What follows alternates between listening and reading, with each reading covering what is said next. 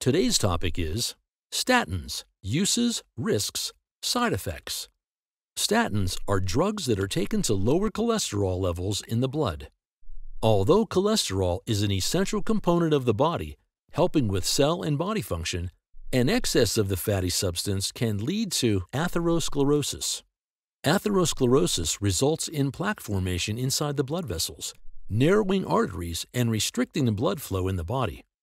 Reducing cholesterol thus lowers the chances of strokes, heart attacks, and chest pain.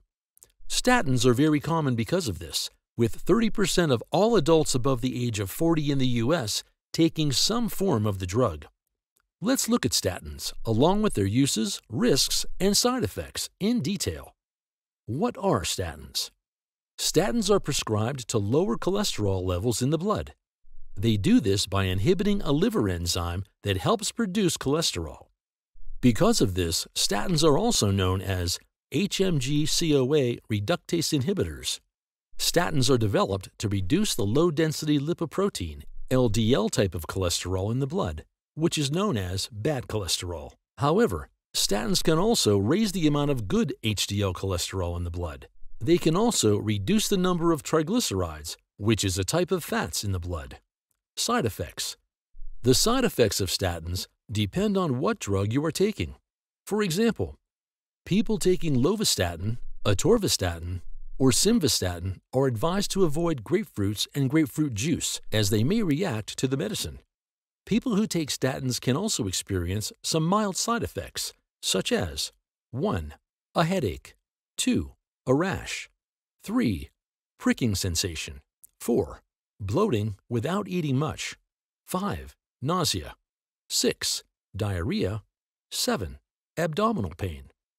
These symptoms are temporary and are not serious enough to interfere with your daily activities. More serious symptoms of taking statins are very rare but can be quite serious.